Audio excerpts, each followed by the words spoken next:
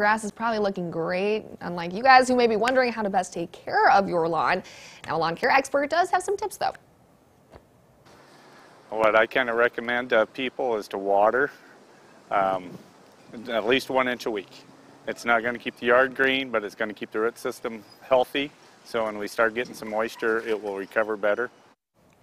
That advice to keep the root system alive also goes for annual applications of nutrients. Ostrander recommends using a delayed release product that activates once the rain comes. You can use our forecast to help get the timing right. Ostrander adds that if you're itching to get on your lawnmower during drought conditions, you should resist the temptation.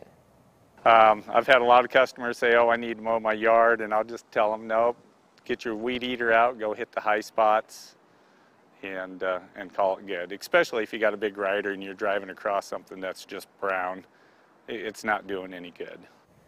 We're talking about lawns, but Ostrander says that you shouldn't forget about your trees or even your shrubs, even if they are established. They need a drink too, so they can stay strong and healthy and don't come toppling down.